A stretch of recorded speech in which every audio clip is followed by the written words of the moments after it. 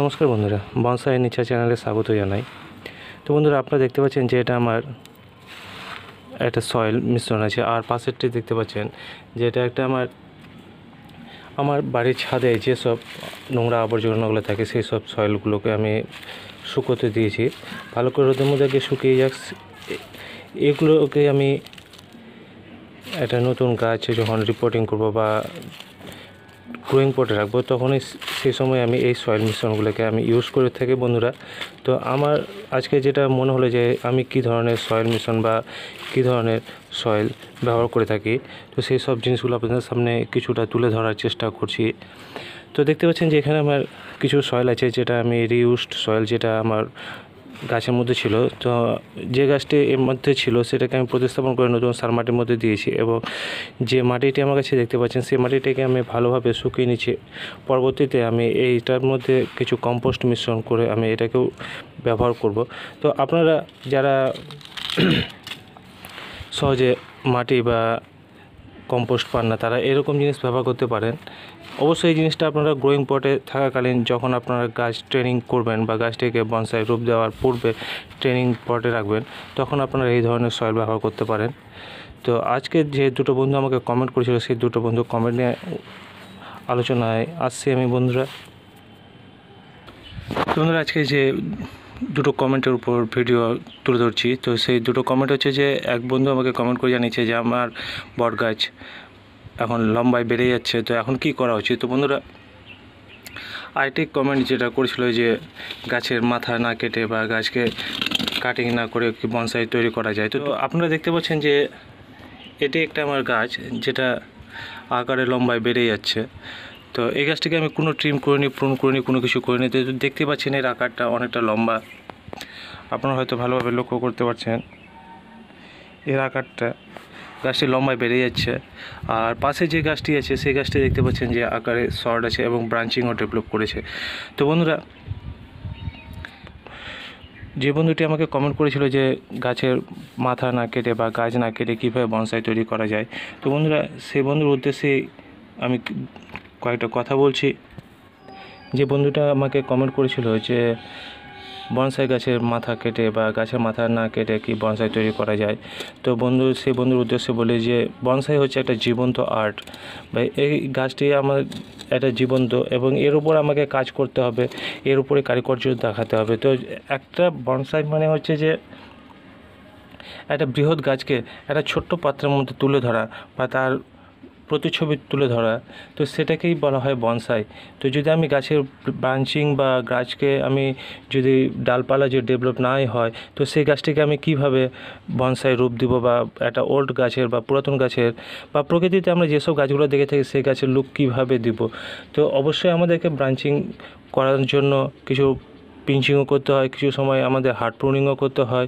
তো যেসব বন্ধু নতুন আছেন বা যারা নতুন বনসাই ক্রিয়েটর বা যারা এইরকম মনোভাব নিচ্ছেন যে বনসাই গাছকে না কেটে আমি বনসাই তৈরি করব, তো সেই সব বন্ধুর জন্য বলি যে, তারা বনসাই থেকে দূরে থাকাই ভালো, কারণ বনসাই যারা গাছকে ভালোবাসেন তাদের ক্ষেত্রে বোঝে যে যারা এসব কাজগুলো করতে চান না। তারা বনসাই থেকে দূরে থাকাই ভালো, কারণ আমরা বনসাই যারা তৈরি করি বা বনসাই যারা ক্রিয়েটর তারা পিঞ্চিং প্রুনিং হার্ড প্রুনিং এসব কাজগুলো করেই থাকে। এইসব কাজগুলো যদি না করে থাকে, তাহলে সেই কাজে ডেভেলপ হবে না বন্ধুরা। আর গাছটিকে একটা ওল্ড লুক বা একটা প্রকৃতিতে যেসব গাছগুলো থাকে, সেই লুকটাকে দেওয়ার জন্য যেসব কাজগুলো করতে হয় সেই সব কাজগুলো খুবই কষ্টদায়ক বন্ধুরা। কিন্তু যারা করে থাকেন, তারা পারেন আর যারা নতুন তারা অনেকেই পারেন না বা আপনাদের মতো যারা মনে করেন যে একটি গাছকে কেটে বাদ দেবো বা তার ডালপালা কেটে বাদ দেবো, তো সেসব বন্ধুদের ক্ষেত্রে বলি যে তারা বনসাইয়ের ক্ষেত্রে, বনসাইয়ের উপর কাজ না করাটাই ভালো। কারণ বনসাইকে যারা নিষ্ঠুর, যারা কঠোর, যারা, তারাই বনসাই তৈরি করতে পারে। তো অবশ্যই একটি গাছকে কাটতে হবে আমাদের প্রুন করতে হবে পিঞ্চ করতে হবে, প্রয়োজনে তার শিকড় ট্রিম করতে হয়। তো এইসব কাজগুলো না করলে বন্ধুরা বনসাই তৈরি হয় না। তো আশা করি উত্তরটি পেয়েছেন। আর আরেকটা কথা বন্ধুরা, যদি আমি গাছটিকে যদি না পিঞ্চ করি বা না প্রুন করি, তাহলে গাছটি আমার একটি পাশে দেখতে পাচ্ছেন যে দেবদারু গাছ আছে। এই দেবদারু গাছটি আকারে আমার বেড়েই যাচ্ছে, লম্বা হয়ে যাচ্ছে। কিন্তু এই গাছটিকে যদি আমি একটা নির্দিষ্ট হাইট না দিতে পারি, তাহলে গাছটি আমার বেড়ে যাবে এবং আকারে অনেক বড় হয়ে যাবে, সেটাকে বংশে বলা যায় না বন্ধুরা। তো দেখতেই পাচ্ছেন যে আমার এই দেবদারু গাছটির হাইটটা কত বড়। তো অবশ্যই একটা গাছকে বনসাই রূপ দিতে গেলে তার একটা নির্দিষ্ট হাইটে গিয়ে তাকে পিঞ্চ করতে হয় আর প্রুন করতে হয়। তো এই দিকগুলো খেয়াল রাখবেন। আর যদি মনে করেন যে বনসাই তৈরি করব, তো অবশ্যই বন্ধুরা এইসব কাজগুলো আপনাকে করতে হবে। তো আরেকটি বন্ধু যেটা আমাকে কমেন্ট করেছিল যে আমার গাছ আকারে বেড়ে যাচ্ছে, বট গাছ, তো এখন কি করণীয়? তো বন্ধুরা, সে বন্ধুর উদ্দেশ্যেই আমি বলি যে, যেহেতু আমি এর আগে একটা ভিডিও আপলোড করেছিলাম যে, এখন শীতকাল, চলে আসছে, তো এই সময় গাছের উপর কাজ না করাটাই ভালো। তো আপনার বট গাছটি এখন যে রূপ অবস্থায় আছে সেই রূপ অবস্থায় থাক। আর সামনের সিজন আসছে, সেই সিজনে কাটাকাটি বা হার্ডপ্রোনিং বা চপিং আপনি যেটা করতে চান, সেটা করতে পারেন। সেই সিজনটা হচ্ছে বন্ধুরা ফেব্রুয়ারি মাসের শেষ এবং মার্চ মাসের শুরু। এর মধ্যে আপনারা কাজ করতে পারেন বা বর্ষার পূর্বে কাজ করতে পারেন। তো আপনার যে গাছটি আছে, সেই গাছটিকে বর্তমান যে অবস্থায় আছে, সেই অবস্থায় রেখে দিন। আর আমি কিছু কিছু কাজ করে নিচ্ছি। আমি কাজ করছি বলতে বন্ধুরা, যে আমি হার্ডপ্রোনিং বা পিঞ্চিং কিছু করছি না। আপনারা দেখতে পাচ্ছেন যে গাছের যেসব নিচে মানে যে যেখান থেকে আমি পিঞ্চ করেছিলাম, সেখান থেকে যে নতুন ব্রাঞ্চটি বেরিয়েছে এবং তার নিচে যে লিপটি আছে, সে পুরাতন লিপটিকে আমি বা পুরাতন পাতাটিকে আমি কেটে বাদ দিয়ে দিচ্ছি। এতে করে আমার যে নতুন ব্রাঞ্চগুলো আছে সেই সব ব্রাঞ্চগুলো ভালোভাবে ডেভেলপ করবে। তো এখন কাজ করাটা না করাটাই ভালো। বিশেষ করে ফাইকাস শ্রেণি গাছের উপর আর যেসব শ্রেণি যেসব গাছ এখন মন গাছ এই সময় ফুল দেয় সেই সব গাছের উপর আপনারা কাজ করতে পারেন।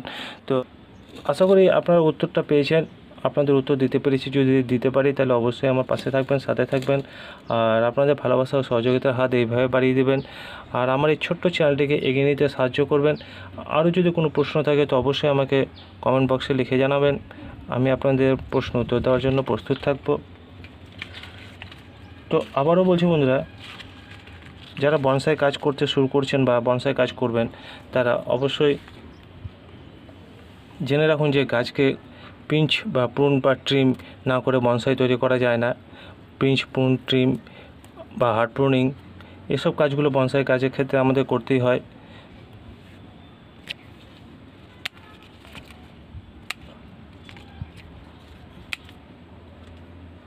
তো বন্ধুরা, আজকে এই পর্যন্তই।